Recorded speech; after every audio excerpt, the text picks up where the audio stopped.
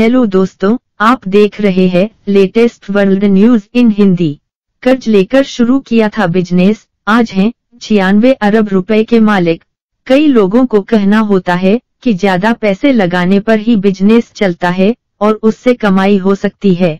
लेकिन इस बात को गलत साबित किया है विजय शेखर शर्मा ने, जिन्होंने कर्ज लेकर अपने बिज़नेस की शुरुआत की थी और आज वो करोड़ों के मालिक हैं। आइए जानते हैं कौन है विजय शेखर शर्मा और क्या है उनकी सफलता की कहानी। विजय शेखर शर्मा पेटीएम के फाउंडर हैं और उन्होंने लोन लेकर अपने बिज़नेस की शुरुआत की थी। फोर्ब्स वेबसाइट के अनुसार विजय शेखर शर्मा आज करीब एक दशमलव पाँच बिलियन डॉलर यानी करीब छियानवे अरब रुपए के मालिक हैं।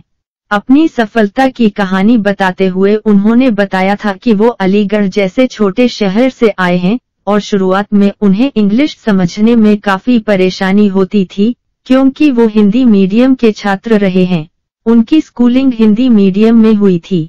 जब दिल्ली स्कूल ऑफ़ इंजीनियरिंग में उन्होंने दाखिला लिया तो उन्हें इंग्लिश समझने में काफ़ी दिक्कत हुई।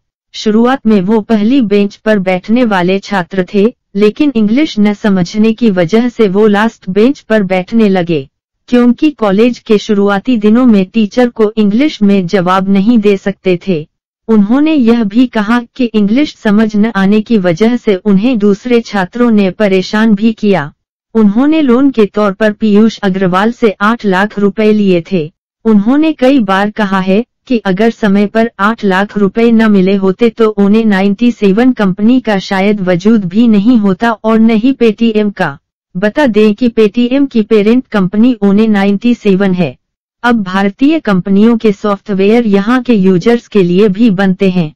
उन्होंने कहा कि अब वो समय है, जब भारतीय कंपनियाँ भारतीय यूज़र्स के लिए सॉफ्टवेयर बनाती हैं, लेकिन पहले ऐसा नहीं था। पहले सिर्फ़ प्रोडक्ट्स दूसरे देशों में भेजे जाते थे।